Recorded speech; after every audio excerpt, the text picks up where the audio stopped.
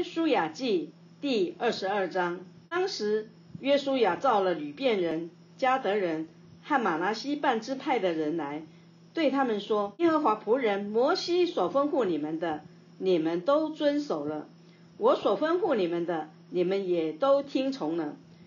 你们这许多日子总没有偏离你们的弟兄，直到今日，并守了耶和华。你们神所吩咐你们当守的，如今耶和华你们神照着他所应许的，使你们弟兄得享平安。现在可以转回你们的帐篷，到耶和华的仆人摩西在约旦河东所赐你们为业之地。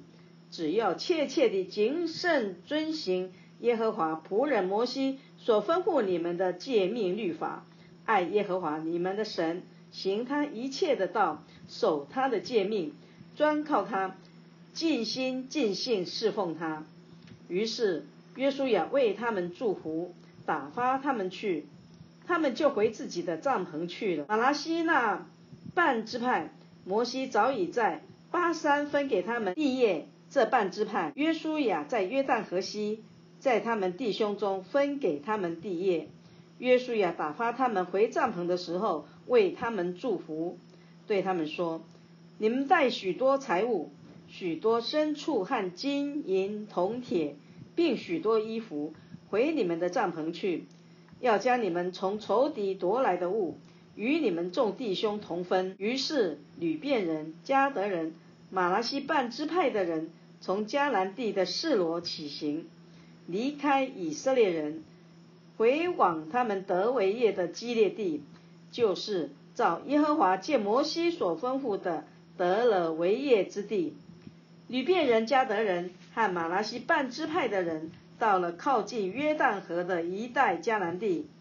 就在约旦河那里筑了一座坛。那坛看着高大。以色列人听说吕遍人、加德人、马拉西半支派的人靠近约旦河边，在迦南地。属以色列人的那边筑了一座坛，全会众一听见，就聚集在示罗，要上去攻打他们。以色列人打发祭司以利亚撒的儿子菲尼哈，往基列地去见吕遍人、加德人、马拉西半支派的人，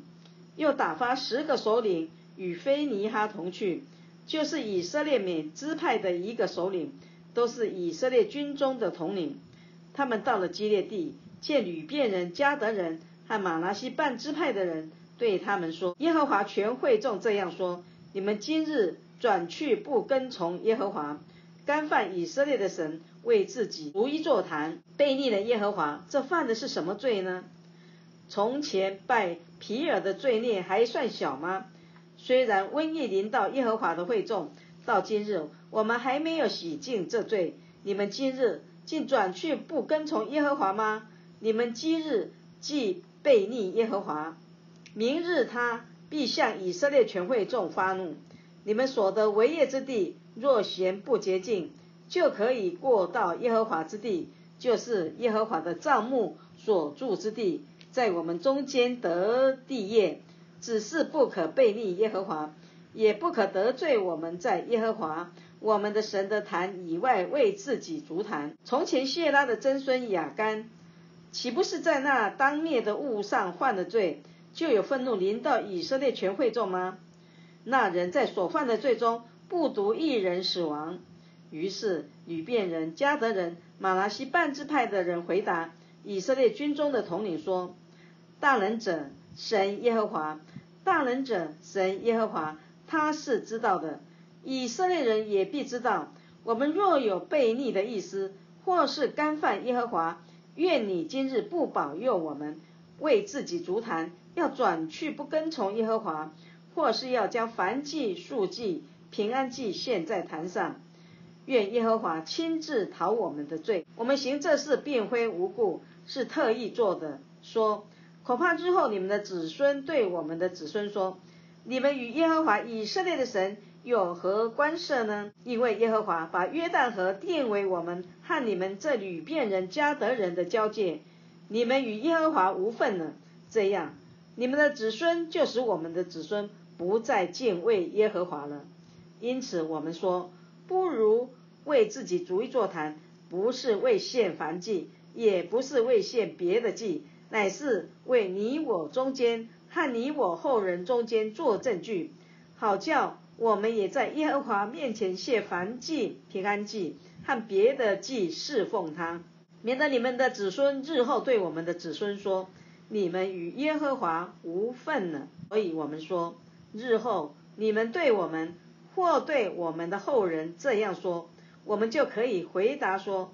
你们看，我们列祖所筑的坛是耶和华坛的样式，这并不是为献燔祭，也不是为献别的祭，乃是为做你我中间的证据。我们在耶和华我们神帐幕前的坛以外，另筑一座坛，为献燔祭、素祭和别的祭。背逆耶和华，今日转去不跟从他，我们断没有这个意思。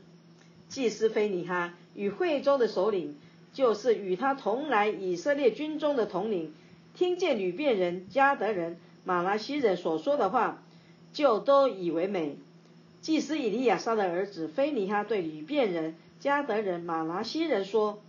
今日我们知道耶和华在我们中间，因为。”你们没有向他犯了这罪，现在你们就以色列人脱离耶和华的手了。祭司以利亚撒的儿子菲尼哈与众首领离了吕遍人、加德人，从基列地回往迦南地，到了以色列人那里，便将这事回报他们。以色列人以这事为美，就称颂神，不再提上去攻打吕遍人、加德人，毁坏他们所住的地了。吕遍人、加德人给坛起名叫正坛，意思说这坛在我们中间证明耶和华是神。